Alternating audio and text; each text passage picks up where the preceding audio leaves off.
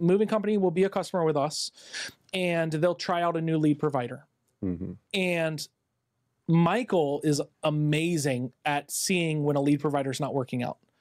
And he will call that owner, get on their schedule, and go, I'll let you talk about it. But Absolutely. and get with them and be like, look, here's here's what I'm seeing with this lead provider with you know your company, along with I think I see it in some other companies. I'm gonna be honest with you. I think we need to cut this one.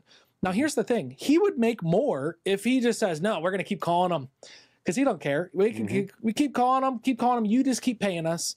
Um, but he doesn't do that because he knows that if you're paying for 100 leads and you're only converting two of them, um, you're losing money as a customer of the call center, and we don't want that for you. So go ahead. Absolutely. So our goal is to, uh, my goal is to grow your company with you all Yeah. the way through. So when we first start, uh, I mean, I'm going to tell you the lead sources uh, uh, that we are going to integrate with,